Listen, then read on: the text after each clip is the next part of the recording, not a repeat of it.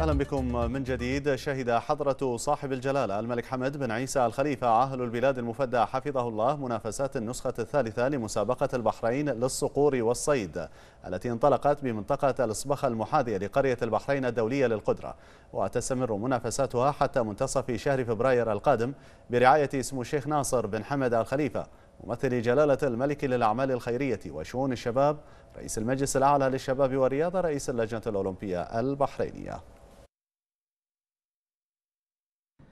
لدى وصول جلالة الملك المفدى كان في الاستقبال سمو الشيخ ناصر بن حمد آل خليفة ممثل جلالة الملك للأعمال الخيرية وشؤون الشباب رئيس المجلس الأعلى للشباب والرياضة رئيس اللجنة الأولمبية البحرينية وسمو الشيخ خالد بن حمد آل خليفة النائب الأول لرئيس المجلس الأعلى للشباب والرياضة رئيس اتحاد دول غرب آسيا لألعاب القوى رئيس الاتحاد البحريني لألعاب القوى. وسمو الشيخ محمد بن سلمان بن حمد آل خليفة وسمو الشيخ فيصل بن راشد آل خليفة نائب رئيس المجلس الأعلى للبيئة رئيس الاتحاد الملكي للفروسية وسباقات القدرة. وفي البداية قدم سمو الشيخ ناصر إلى جلالة الملك المفدى إيجازا عن منافسات البطولة حيث تشمل المنافسات على سباق الخيول العربية ومسابقة الصيد بالصقور ومسابقة الصيد بالكلاب السلوقية. بعد ذلك تابع جلالة الملك المفدى منافسات هذه المسابقة. بعد ذلك التقى حضرة صاحب الجلالة بالملاك والسقارين المشاركين في هذه المسابقات وشكرهم على هذه المشاركة الكبيرة متمنيا لهم دوام التوفيق والنجاح. وفي ختام حضور جلالة الملك لهذه المسابقات أشاد جلالته بهذه المسابقات التراثية والتي تهدف إلى الحفاظ على التراث البحريني الأصيل وتعزيز القيم والموروثات لدى الشباب البحريني وترسيخ مبادئ التراث الوطني ودعم الرياضات التراثية. كما أشاد جلالته بالدور المهم لسمو الشيخ ناصر بن حمد آل خليفة في إحياء التراث والموروث الوطني الأصيل والمحافظة عليه مقدرا جلالته جهود سموه المتواصلة والموفقة في دعم ورعاية مختلف الرياضات التراثية ووضع الخطط والبرامج للارتقاء بها والمحافظة عليها وتطويرها وتشجيع الشباب البحريني على المشاركة فيها.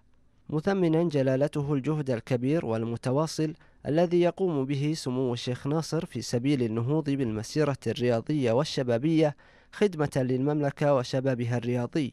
مثنيا جلالته كذلك على جهود سمو الشيخ خالد بن حمد آل خليفة وعمله الدؤوب واهتمامه ودعمه لمختلف الرياضات التراثية للحفاظ على تراثنا الأصيل.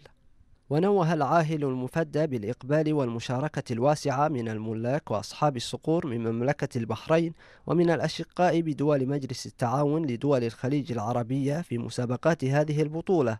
والذي يأتي في إطار حرصهم واهتمامهم بدعم المسابقات التراثية وإنجاحها.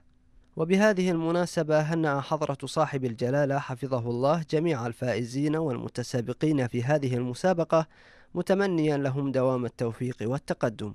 من جانبه أعرب سمو الشيخ ناصر بن حمد آل خليفة ممثل جلالة الملك للأعمال الخيرية وشؤون الشباب رئيس المجلس الأعلى للشباب والرياضة رئيس اللجنة الأولمبية البحرينية عن تقديره وشكره إلى حضرة صاحب الجلالة الملك حمد بن عيسى آل خليفة عاهل البلاد المفدى حفظه الله ورعاه على تفضله بزيارة مسابقة البحرين للصقور والصيد مشيرا سموه إلى أن زيارة عاهل البلاد المفدى إلى فعاليات المسابقة ومتابعته لمسابقات الصقور وسباق الخيل العربية وكلاب الصيد تؤكد دعم ورعاية جلالته لمختلف الرياضات التراثية بما يعكس حرص جلالته المتواصل في الحفاظ على الموروثات الشعبية والقيم الوطنية.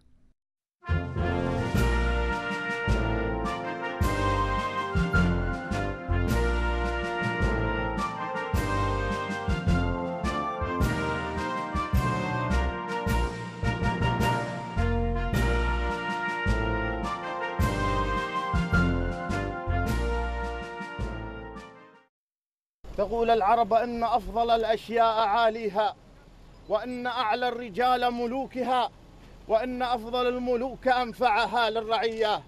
وتقول إذا أردت الخير فجاور ملكا أو جاور بحرا ونحن في جوار الاثنين على أن البحر قد ثبت خيره وخير جلالة الملك فياض. فمهما ركبنا من الخيل وقلنا وعملنا لم نعبر البحر الذي أنتم عبرتموه ولكنه جهد مغل. فإن أصبنا فمن الرحمن ومن ثم توجيهاتكم. شكرا.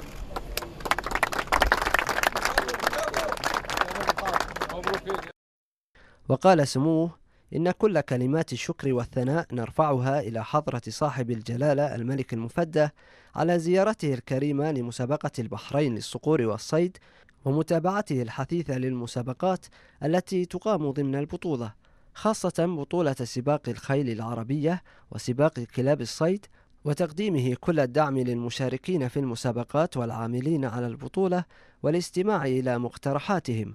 فلطالما شهدنا دعم جلالته المتواصل على مدى السنوات الماضية ورعايته لكافة المبادرات التي تصب في بوتقة إحياء التراث البحريني وتعزيز الموروث الشعبي. من خلال تشجيع وتحفيز إقامة الرياضات النابعة من صميم العادات العربية والتراث البحريني الأصيل. وأشار سمو الشيخ ناصر بن حمد آل خليفة إلى أن حضور جلالة الملك المفدى ولقاءه مع المشاركين ومتابعة المسابقات جاء ليؤكد الاهتمام البالغ والكبير من قبل جلالته لترسيخ الموروث البحريني الأصيل في رياضة الصقور والصيد. والتي كانت منتشرة بشكل واضح في منطقة الخليج العربي بشكل عام والبحرين بشكل خاص وتحظى بمشاركة كبيرة من قبل مختلف المهتمين بالصيد بالصقور لما تمثله من رياضة تراثية وقيمة غنية بجانب ما تشكله من جزء من تراث البحرين. نعمل جميعا وبتوجيهات من جلالته من أجل المحافظة عليه بكل الوسائل المتاحة لنا. وأضاف سموه في النسخة الثالثة من مسابقة البحرين للصقور والصيد والتي تحظى بمتابعة مستمرة من قبل جلالة الملك المفدى الذي شرفنا بزيارة البطولة. حرصنا على تنظيم بطولة أفضل هذا العام فيما يخص النظم والقوانين وطريقة التسجيل ونظام المشاركة بكل سلاسة وسهولة ودون أي تعقيد. وأشار سموه لقد كانت الفرحة الكبيرة بزيارة جلالة الملك المفدى واضحة على محيا جميع المشاركين في المسابقات بعد أن أعرب لهم جلالة الملك المفدى عن تقديره للدور الواضح الذي يقومون به من أجل المحافظة على التراث البحريني الأصيل والاستمرارية في مواصلة النهج نحو الحفاظ على تلك الرياضات كجزء من الهوية البحرينية المتأصلة في كافة أبناء الشعب البحريني. وعاهد سمو الشيخ ناصر بن حمد آل خليفة جلالة الملك بالاستمرار في تقديم المبادرات التي تهتم بالارتقاء بالرياضات التي تحمل الطابع التراثي البحريني والعمل على تطويرها بما يساهم في تنقلها من الأجداد إلى الآباء إلى شباب المستقبل.